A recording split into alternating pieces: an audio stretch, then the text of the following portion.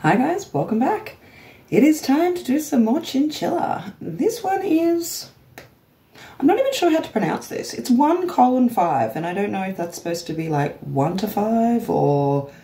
I mean, usually the title is somewhere in the song, so I'll be interested to see how this is actually spoken. If that makes any sense at all.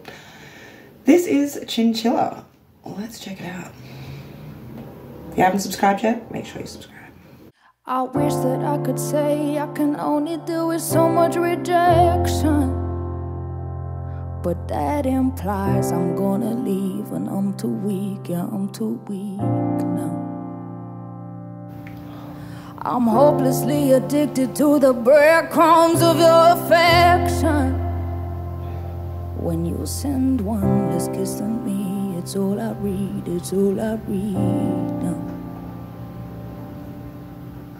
I say I love you, but you only reply one out of five times. One out of five, right. Like I love you, but I hate you, it's such a fucking fine line. Are you doing it to spite me?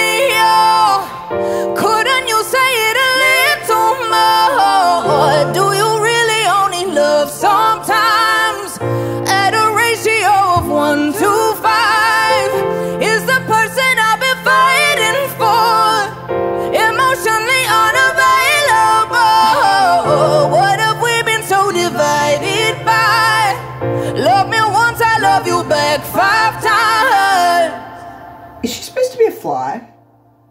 I don't know how to keep to my own bare minimum boundary.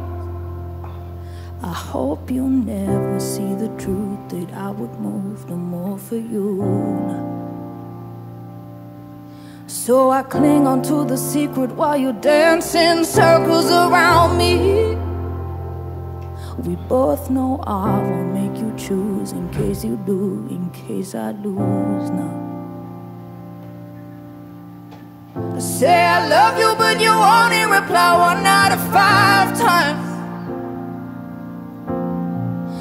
Like I love you, but I hate you, it's such a fucking fine line. Are you doing it to spite me? Oh, couldn't you say it a little more? Do you really only love sometimes? At a ratio of one to five. Oh my god. The lyrics in this are freaking incredible. Okay, it's one to five, so I get one out of five. Sorry, it's one out of five. That is just a ridiculous way of explaining the need that some people have to constantly feel validated, I guess, by a partner. Personally, I've never understood that, but it is a real thing. Some people do feel like if somebody sends one less kiss than them, then that's all they will read into. Uh, I think it's really important to know who you are communicating with sometimes because some people find these things so important and other people will turn around and go, I did what? What? I, I told you I loved you like three times. Like, how is that not enough? You said it four, you gave me four kisses. Wow, it is such an amazing, amazingly written song. Wow. Um, somebody actually told me an interesting story in the comments this morning, actually.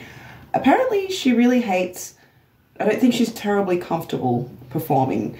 And she uses the fingernails and all the sort of decorative makeup and features, in this case, the big fly mask and everything, to in some way kind of mask and um, I think people do it to kind of change themselves so it doesn't feel like them performing. Uh, they can kind of step out of themselves a little bit and oh, it just absolutely amazes me that somebody like this that is so talented, who has a voice so beautiful and is a stunning, stunning young lady as well, could be self-conscious and not feel comfortable sharing this ridiculous talent with people. Um, honestly, I think it makes her more endearing. Um, sometimes I, I love it when a performer loves being on stage, But sometimes if they love themselves too much, it makes me like them less. I'm sure you guys know what I'm talking about. Anyway, I love this. Let's keep going.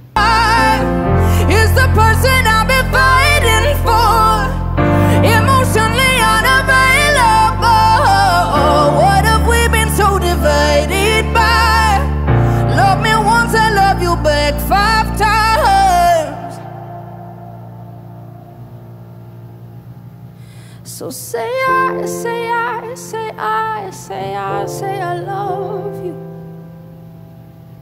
So say I, say I, say I, say I, say I love you. So say I, say I, say I, say I, say I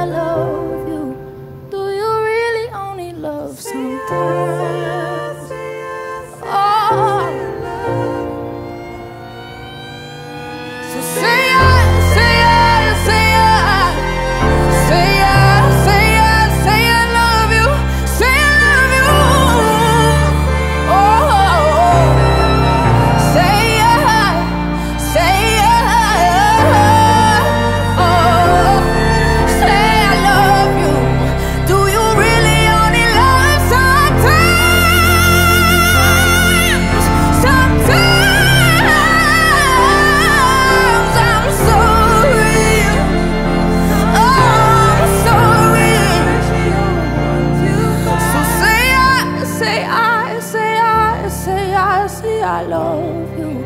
Do you really only love sometimes?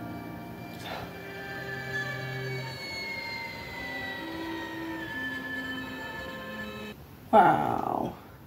And I love all the throwbacks in her film clips and Ren's film clips. You can see all the people with the white bags over their head and stuff. Very reminiscent of Ren's film clips, especially the ones that he does, well, more so in Sick Boy and Hi Ren and all that sort of stuff. But yeah, she always does little clapbacks to those sort of things. Um, I noticed in Fingers at the end she had the chalk outline, which bugged me so much that I didn't point out in my last video. But anyway, that happens sometimes. I have often wondered if I should, like, you know, you see people put in little, like, later edits of them editing, only most of the time when I'm editing, I look like absolute crap and I do all the film myself. But often it really, really bugs me when I don't say something that I really wanted to say. And sometimes I think maybe I should just edit it in. And anyway, let me know if you think that that's something that I should do. I'm so unsure of myself sometimes. But Chinchilla, what is to be unsure about? She's incredible. Absolutely ridiculous. Her struggling with this idea that this person is just emotionally unavailable. But I don't know, my interpretation of it is actually that these feelings are overly needy. I don't know. I don't think somebody should have to tell you five times that they love you, whether you tell them once or five times. But everyone feels differently about these things. I don't think anyone wants to feel like somebody loves them five times less than they love their partner. And I think that's what the juxt of this is. I don't know. For me, it comes across very needy, but it is incredible writing. I do love it. Lots of people are going to relate to it. And yeah, absolutely love it.